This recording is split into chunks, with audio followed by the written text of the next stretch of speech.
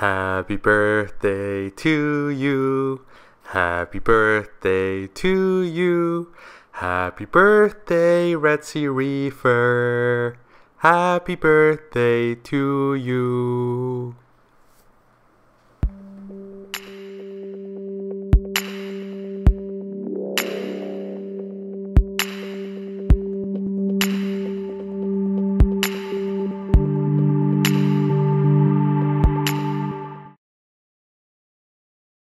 Hello and welcome back to the channel. Uh, good news, my Red Sea Reefer is now officially two years old. And to celebrate, I'm gonna do this uh, extra long video and, and walk you through all of uh, my uh, equipment, what I do for filtration, uh, my maintenance schedule, the livestock, the fish, the corals, all of that fun stuff. So in terms of equipment, uh, my Red Sea Reefer 250 liters is lit by three Radion XR15s uh, generation 3s and the circulation and the display is managed by two Ecotech Vortech MP10s and please do check out my video on light and circulation I posted links above. In the sump I have a Bubble King Mini 160 skimmer I also have a Phosban reactor that's currently running uh, carbon, a few teaspoons of carbon. I'm using the Mesh 220 micron filters, which I change about every week, uh, sometimes every two weeks. Uh, I have converted the automatic top-off uh, unit, uh, the stock ATO, into a refugium that's actually being fed by the return. And I have uh, a ball of Chaeto that is growing uh, in there right now. It doubles in size about every two weeks. I also have uh, Kamoer F4 wireless doser. It's got four channels. And I'm currently dosing uh, Red Sea Foundation buffers A, B, and C for alkalinity, calcium, and magnesium. And uh, occasionally I dose uh, potassium nitrate or uh, Flourish phosphorus uh, just to uh, maintain my nutrients at the levels that I like to keep. If you look at the information in the video description, you'll find the parameters that I currently have my uh, tank running at.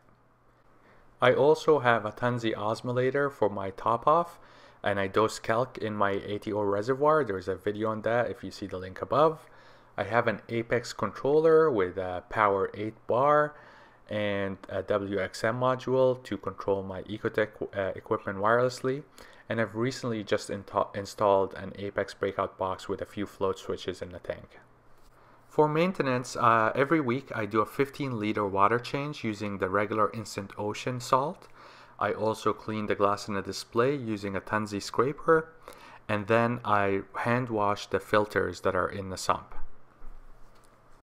Every six months I take all of the equipment that is in the sump and I put it in this container with uh, a one-to-one -one water and vinegar solution. This includes my osmolator pump, uh, the return line that pumps fresh water back into the tank. Uh, I also have my Jecod return pump in there as well as a skimmer and all the heaters and I leave them soaking and running for about an hour and then I take them apart and I brush off any deposits. And I use this opportunity to run a self-cleaning cycle in the sump uh, I do this by putting as many power heads in there as possible to kick up the detritus back in solution. And then I use a, another pump to take the water from the sump through the filter socks. So that kind of uh, filters out all of the particles that were uh, that accumulated in the sump over the past six months. So testing is uh, very important in a reef tank. Uh, you want to make sure that uh, you're providing the right water conditions for your uh, corals and your fish to thrive. For the three main parameters, alkalinity, calcium, and magnesium, I really like to use the Salifert kits. I find them very easy to use. They're titration tests. Uh, they're quick to perform, which is really important because if you're testing your water regularly, you don't want to be spending hours or, or a long time testing. So uh, I test alkalinity once a week, uh, sometimes more often if I'm dosing and I'm trying to adjust my levels. Uh, calcium I do once a week, once every two weeks, and magnesium uh, once every two weeks to once a month. For nitrates, I either use uh, Red Sea Nitrate Pro Kit or uh, the Salifert uh, Nitrate Kit. And so both have advantages and disadvantages. Uh, the Nitrate Pro is more accurate, especially at low levels of at low levels of nitrate, so uh, anything that is kind of below uh, uh, 2 or 3. But the disadvantage of the Red Sea kit is that it takes about 15 minutes to perform. Uh, the Salifert nitrate uh, kit, on the other hand, is actually really quick. It's also a colorimetric test, but you could do a test in three minutes. And I find that I could really uh, read it easily if the levels are between, let's say, uh, 5 to uh, 10 parts per million, which is where I keep my tank. So I often end up using the Salifert kit because it's that much quicker and uh, and I could uh, tell whether my nitrate is like two or uh, uh five or ten parts per billion really easily. So for phosphates, most of the time I use the Hanna uh, checker, the phosphorus ultra low range. Uh, it's accurate, it's quick. You could do a test in about five minutes or so. so I really like it. I also have a Red Sea Reef, uh, sorry, a Red Sea Phosphate Pro uh, uh, kit. It's a colorimetric assay. It comes with this uh, fancy little wheel, and you could uh, usually tell apart uh, values that are between 0 to 0.16.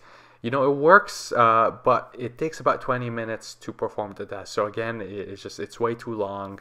Uh, to be to use it regularly.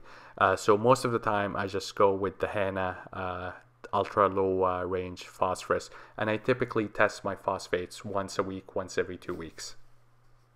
Salinity is another parameter that you want to check every week. Uh, and obviously you want to test your new salt water to make sure it matches your uh, tank. Uh, and I use the Red Sea refractometer. I actually find this pretty easy to use. Uh, one tip is when you store it, don't have the flap, the glass flap, right on uh, actual refractometer. I like to keep it elevated a little bit. Uh, so this part, I don't push it all the way down. And I find that that kind of helps with maintaining the calibration.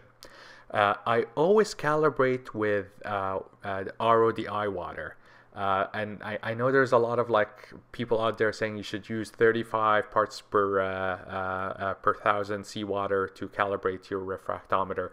But you know there if water RODI water is always going to be zero. Uh, sometimes when you order these uh, chemicals uh, calibration solutions, they might be off depending on how long they've been sitting in storage, or uh, you know if you open them, then they start to suffer from evaporation and there could be patch effects and so on.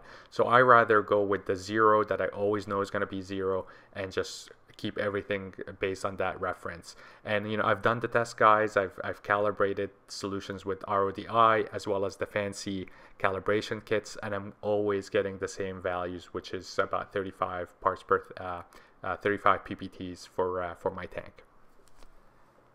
It's good to also have uh, four other kits on hand uh, if you're dosing potassium nitrate, it's a good idea to test for potassium. It's, it's always a good idea to test for anything that you're going to dose for. So if you're dosing potassium nitrate, well, it has nitrate and potassium, so you should be testing for both potassium and nitrate. And, you know, I don't do the potassium test all the time, maybe once a month or something, only if I'm dosing. Uh, if you're gonna run a QT, and I highly suggest running a QT, quarantining all of your fish, uh, you probably will be uh, treating some fish with copper. And if that's the case, you should have a copper test kit uh, on hand. And then finally, it's always a good idea to have an ammonia as well as a nitrite test kits. Uh, just in case if you're testing your quarantine tank or if you suspect that you're, uh, you know, you had a massive die-off in in your system and you have ammonia poisoning, it'd be really good to pull out your ammonia kit and, and test the water. Okay, let's shift gears a little bit and talk about the livestock. And I'll start with the cleanup crew. So I really love my cleanup crew. Uh, I find them to be some of the fascinating uh, animals uh, that are uh, living in my tank. Uh, it's good to have a healthy cleanup crew because you know they're they're the ones that are cleaning your nuisance algae, removing uneaten food, uh, and just you know cleaning up your tank essentially. So I have uh, for a cleanup crew, I have uh, two tuxedo blue tuxedo urchins, and they're they're beautiful. They're they're amazing. They have these very bright, vibrant blue uh, stripes, and uh, they go around uh, munching algae off of the rocks. And as you know, as far as urchins go, uh, they are model citizens in my tank. Uh, they are not uh, bulldozing through things. They're not removing things, and most importantly, they're not chewing on wires. I also have two starfish. Uh, I don't see them much. Uh, they're uh, nocturnal, but I love when I feed the tank and I see their tentacles come out of the rocks. It's it's pretty creepy. So one is a pink serpent starfish, and the other one is a black bristle starfish. Uh, I have a strawberry conch, which scoots around the sand bed, cleaning the sand, any algae on the sand. I also have a, a, cleaner shrimp, a skunk cleaner shrimp uh, that does an amazing job of uh, eating any of the uh, fish food I add to the tank. And to round things off, I have a whole bunch of uh, trochus snails. These are the black-footed snails, as well as some of the sand-dwelling snails like uh, and uh, Cerith snails that come out at night to uh, clean any uneaten food and detritus. Okay, let's talk about the fish now. so I have eight fish in total. Uh, I have uh, two clowns, one yellow tang. I have two wrasses, uh, a Moyer leopard wrasse and a yellow-tailed tamarin wrasse. I have uh, one yellow, uh, sorry, one blue-green chromis and uh, one royal gramma and then uh, one fish that uh, I, I really like to see but he hides most of the time it's a yellow watchman goby and he's paired up with a candy pistol shrimp and they live in the right boulder uh, on, uh, on right boulder in the tank here. So I've been making a point of trying to quarantine all new fish uh, because you know you, you don't want to add fish into a tank and then end up with a disease outbreak. It's so much more difficult to deal with disease in a display than it is to do in a quarantine tank. Uh, every time I add a new fish I try to use an acclimation box just to uh, make sure that uh, there's going to be no aggression or, or to try to get all of the posturing uh, and possible aggression out of the way uh, before the fish is released and interacts with the residents. It just kind of gives the, the new fish a bit of a buffer zone uh, and the old fish a chance to see the fish. If I notice signs of aggression after the new fish is introduced, then what I do is I capture the aggressor move the aggressor into a new tank for a couple of weeks and then add the aggressor back into the tank. And uh, every single time I've tried that trick it has worked. And now we're going to talk corals. So you know that I'm a big fan of SPS everything that you see here is has been grown from uh, one inch frags.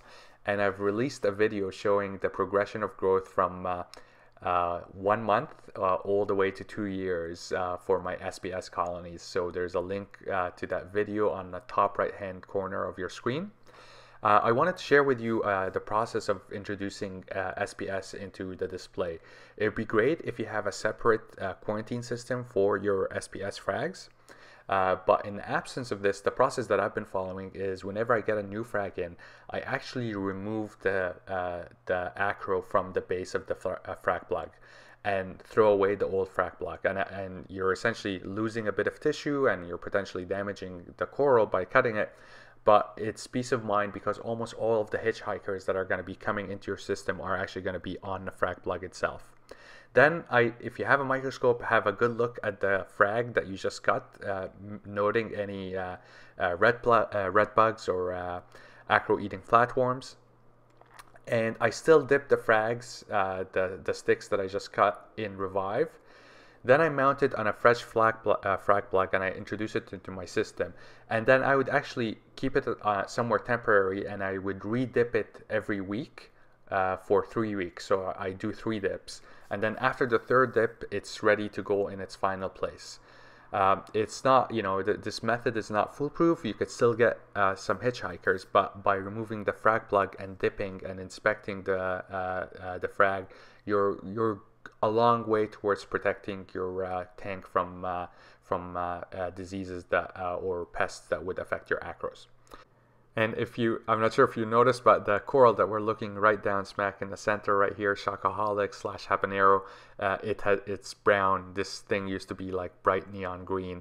Uh, I had like a major alkalinity swing uh, several, uh, uh, about a month ago where my alkalinity dropped from 8.5 or something to 6.8 and it upset a few of my corals, the, the Shockaholic as well as the Miyagi torch you'll see now.